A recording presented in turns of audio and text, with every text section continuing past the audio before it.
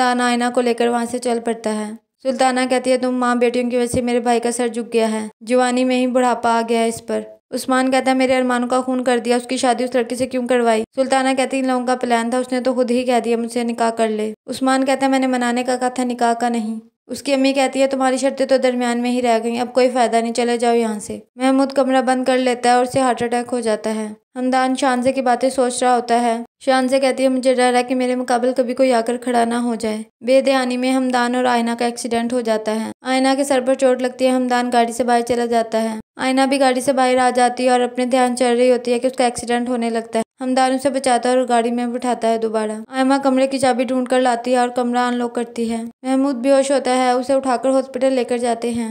आयना के सर से खून निकल रहा होता है, ना आयना को परवाह होती है और ना ही हमदान को। उस्मान घर आता है तो उसे अपने दोस्त की बातें याद आती हैं कि उसने आयना को बस स्टॉप पर देखा था। वो पागलों की तरह हंसता है और मिरर भी तोड़ देता है। डॉक्टर्स महमूद को चेक करने के लिए ले जाते हैं। सुल्ताना कहती है, मेरे भाई की हालत तुम माँ बेटियों की वजह से, अगर मेरे भाई को कुछ भी हुआ तो मैं तुम तीनों को छोड़ूँगी नहीं। हमदान घर आता है तो कहता है, हमदानी, ये हमारी गेस्ट है, इन्हें गेस्ट रूम में ले जाओ। हमदानी आईना को गेस्ट रूम दिखा देता है और वो चली जाती है कमरे में। हमदानी आईना को कहता है, इस बॉक्स में बैंडेज का सामान है, आप बैंडेज कर लें, आपके सर से काफ़ी खून बह रहा है।